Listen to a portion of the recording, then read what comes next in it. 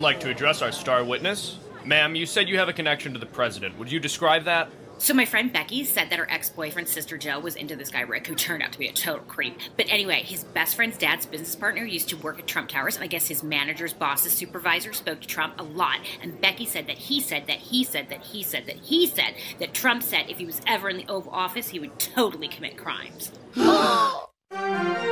You heard it straight from the source, folks. Trump is in big trouble. What do these bombshell accusations mean for the future of the Trump administration? Let's go to our expert panel for discussion. Oh, golly, it looks like it means he's getting impeached as heck.